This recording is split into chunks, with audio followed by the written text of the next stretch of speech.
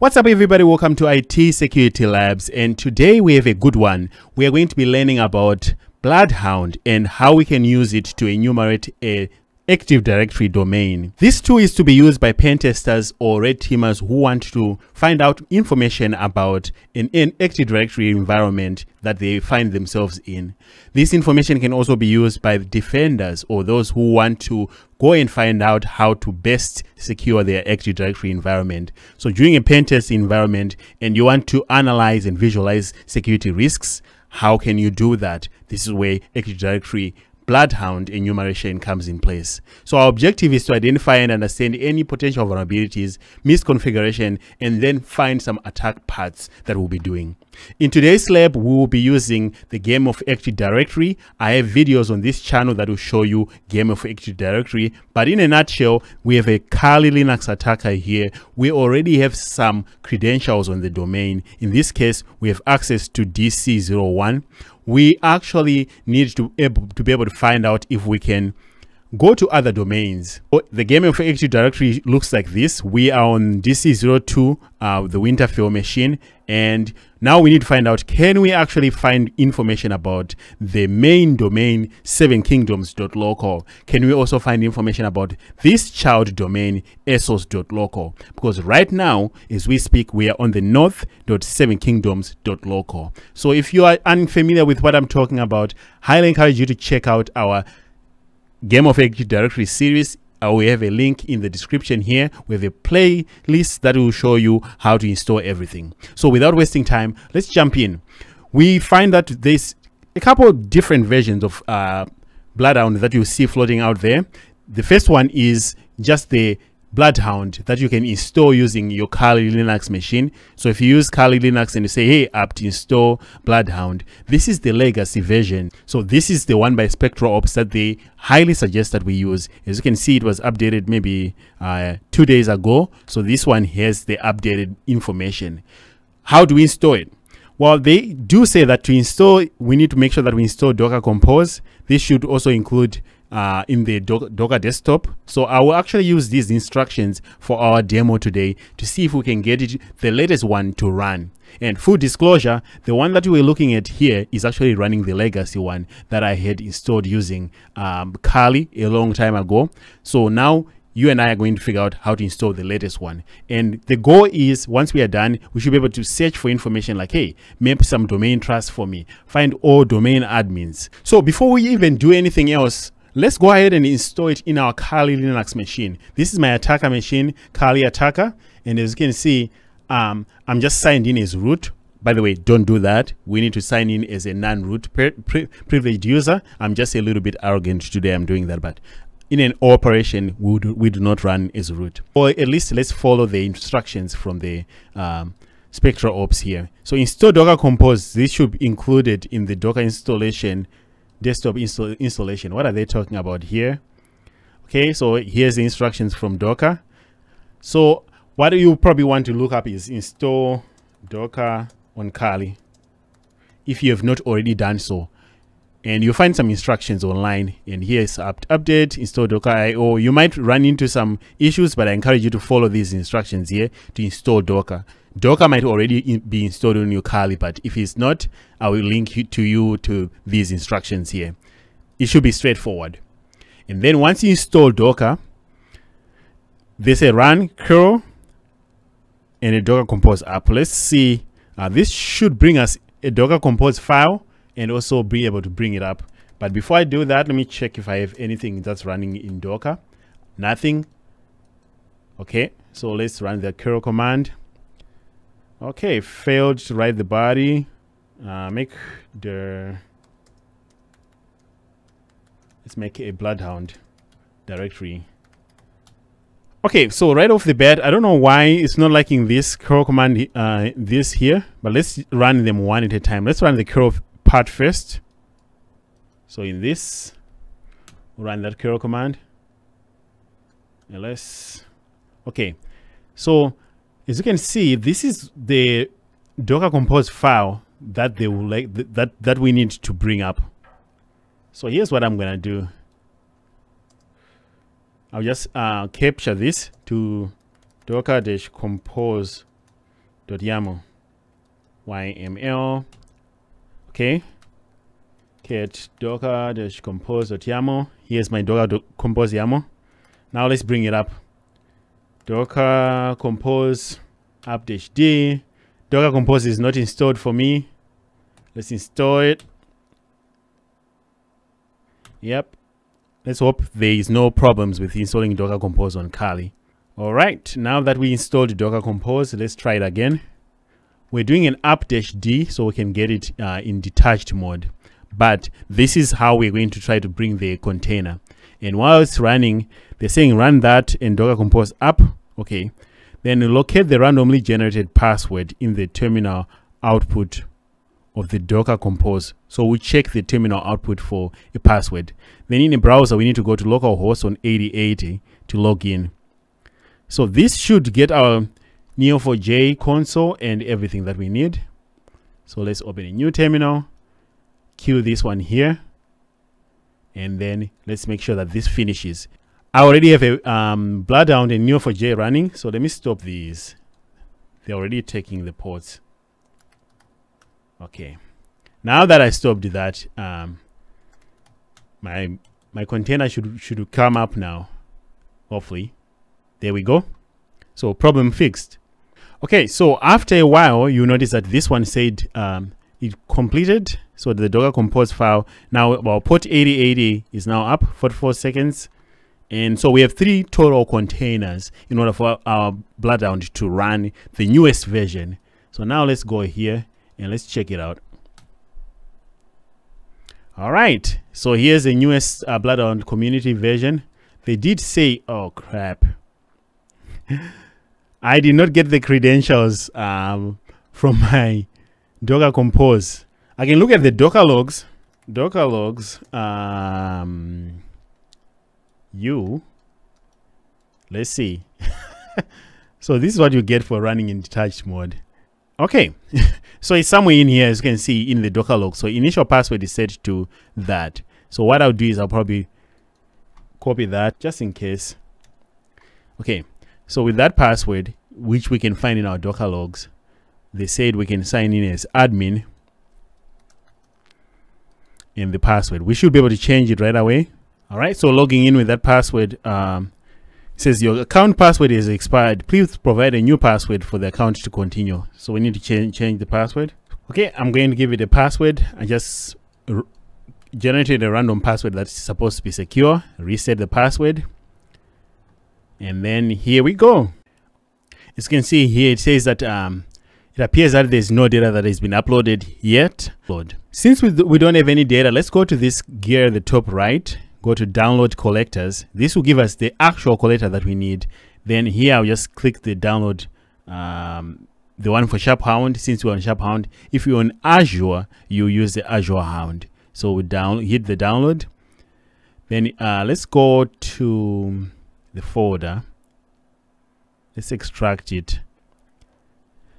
So uh, we will be extracting it to temp share. I'll just extract the whole thing in there. Okay, extraction successful, close. So now if I go to my temp share, you notice that I have all these collectors. The one that I want for sure is sharphound.ps1. So that one is going to be the one that we will put out to the client. So let's use XRDP to get to the victim machine or the client so we X free, FreeRDP the IP address of the domain controller that we have access to using Brandon Stack. This Brandon user is an administrator, but even if this user was not an administrator, we should be able to collect some data pertaining to the domain that they are part of. In this case, I'm ignoring the certificate, uh, allowing clipboard to this RDP session, and I'm sharing the temp share folder, which already contains my SharpHound. You can use other means but this is what I'm doing right now. Then once we get in here, we're just going to launch PowerShell. And I'm launching PowerShell as an administrator. Let's go to see Windows tasks. If I do a diary in here, I see nothing. Just make sure, just in case you do not have remote desktop, but you you you had a PowerShell or any other command line access, open PowerShell, then invoke web request to your Kali Linux machine on the port that you started your HTTP server, and then download SharpHound this way. So in this case, since it's in my temp folder here, I'll probably do a Python 3 m http all right so i'm hosting an http server here. I can come and just download it. Just want to show you a couple ways you can get files to windows in case you do not have windows remote desktop.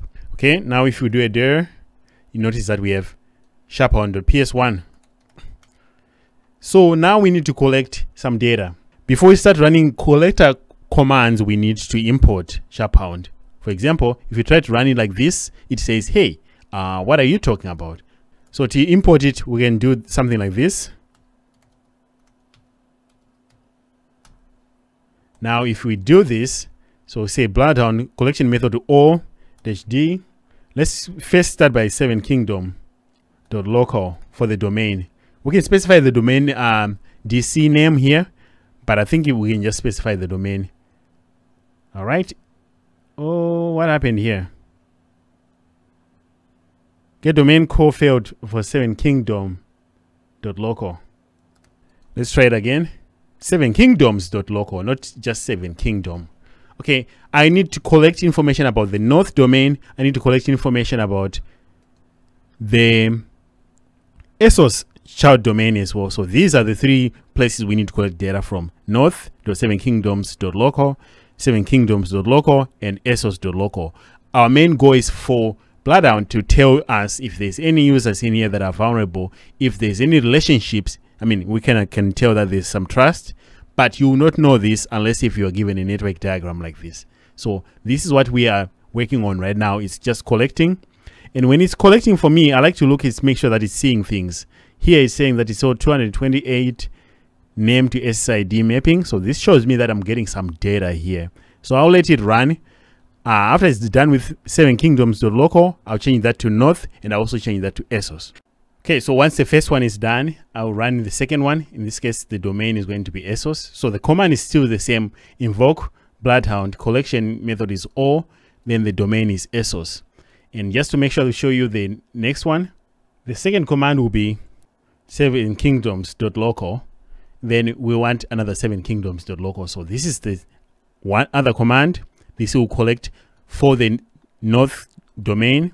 And then the third command will be just the seven kingdoms local, just like what we ran at the beginning. So you need to run all three. And all three will collect some data. So if you hit enter on this one, uh, this one is very quick, the ESOS one. and then please run the third one. Once they're all done running, if you go to your C Windows, actually, for me, this is going to be in Windows System 32. This is because this is where I launched it from. So notice that I'm ending up with these files here. What you want to do is you want to copy these three files. So one, two, three after you run them. So right now I'm finishing the ESOS one. And once it's done, we would like to copy it to our share folder. Where is this share folder? I'm already sharing it. It shows up here as share on Kali. And as you can see, I copied three zipped folders. So one, two, three. Right click, extract all. When you extract these three folders, you end up with one folder, two, and three folders in each folder there is JSON data. This is mounted on my Kali Linux in the temp folder. So coming back here, administration, file ingest, upload files. We will choose to browse to go to my temp folder. So I'll go to other location, computer, TMP, in my share folder inside of the share folder, those three folders that I unzipped in Windows are here. So if this way, you know, you don't have RDP access, download the zipped folder and unzip them in Kali. And once you unzip, you end up with content inside of them. So you need to highlight all these and hit open. it will say ready then you need to hit upload and upload one more time and this will be done done done clear do that for three or three folders and you end up with data that has been uploaded but now that we have data how do you use it?